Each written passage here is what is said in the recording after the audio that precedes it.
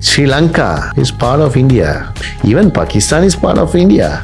Uh, even Nepal, Bhutan, Bangladesh. Bangladesh. So we all brothers. Yeah. So we have divisions now because of the political reasons. But I think out of the Bangladesh, Pakistan, Nepal sides, uh, Indians probably prioritize Sri Lanka. You have some hatred on Pakistan. Yeah, yeah, that rivalry is there. Rivalry is there. don't- more than more than India and Pakistan rivalry is there.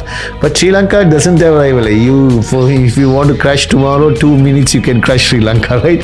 You don't have the fear.